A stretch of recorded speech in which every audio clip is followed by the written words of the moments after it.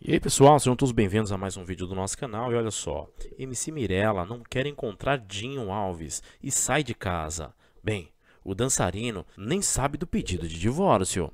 Vejam só, MC Mirella e Dinho Alves irá se divorciar. A fanqueira entrou com um pedido de divórcio após o dançarino trocar carícias em A Fazenda com Esté Matos. Essa história ainda vai dar muito pano para manga, que de acordo com o colunista Léo Dias, ao ouvir o comentário do rapaz em A Fazenda sobre a formação de uma possível trisal entre o dançarino, a MC e a Esté Matos, ela tomou uma das mais sérias decisões, sair de casa. A fanqueira achou um absurdo comentário que ofendeu muito. De acordo com o jornalista jornalista, a MC Mirella, ficou irritada com a falta do até então marido e quer evitar qualquer tipo de encontro com ele. Vale lembrar que ela já fez o pedido de divórcio oficial e Dinho Alves nem imagina nada sobre isso, ainda estar confinado no reality show. Xiii, será mesmo que vai dar essa treta toda?